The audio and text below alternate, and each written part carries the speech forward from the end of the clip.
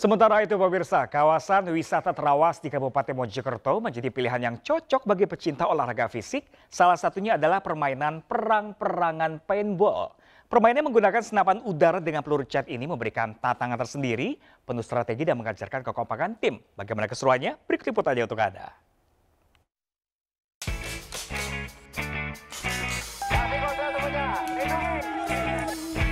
Wisata menantang adrenalin paintball ini berada di tengah kebun durian di lereng Gunung Penanggunan Desa Duyung, Kecamatan Trawas, Kabupaten Mojokerto. Dengan luas setengah hektar, lokasi paintball ditata api, layaknya medan peperangan di alam terbuka. Selama permainan, masing-masing kelompok bisa berlindung di balik papan dan bekas atau tumpukan karung yang disusun sedemikian rupa. Para pemain juga bebas bersembunyi, berguling, merayap, dan saling menembak tim lawan.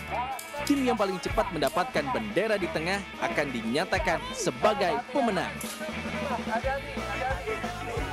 seru, menantang adrenalin, terus butuh kekompakan juga. Oh, awalnya gimana tadi sempat deg-degan nggak? Soalnya deg-degan banget, takut ketembak.